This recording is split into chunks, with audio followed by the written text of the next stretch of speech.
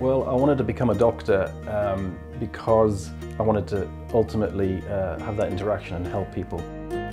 I just, I like working with people, I like being with people and really being able to listen to people's stories and just be there is, um, it's such a, it's just an honour and um, yeah, I really enjoy that. Helping people every day is, is what brings me to work. I, I feel benefit when I can make a difference.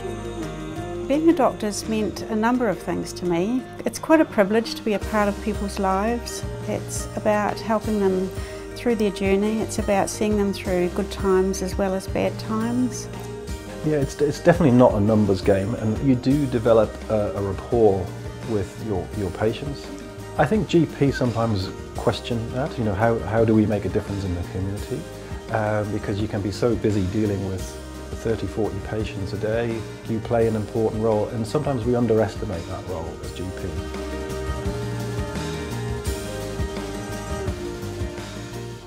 A really memorable moment that I've experienced when I had a particularly long and difficult consultation with a teenage girl.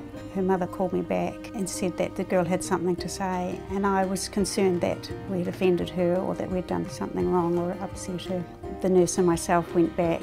This little girl who would have been about 12 or 13 stood up and sang the most beautiful waiata I have ever heard and it was incredibly touching and moving.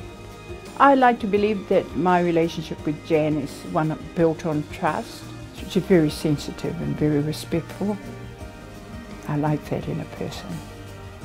Ian had a heart attack. It was one of the scariest times in my whole life. And he was wonderful. Yes. He, he never let us down. He's just, he's just amazing. I can't think of how we can thank him enough. It's all about what's important to the patient, what matters to them.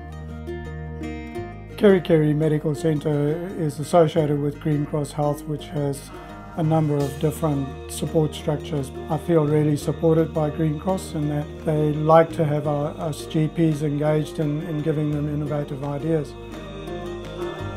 It's just a great team environment. So if you are coming in as a new nurse or a new doctor, you would have great support, friendship. Yeah, the support thing would be, when you're new to a job, would be really um, important and we do that well here, I think.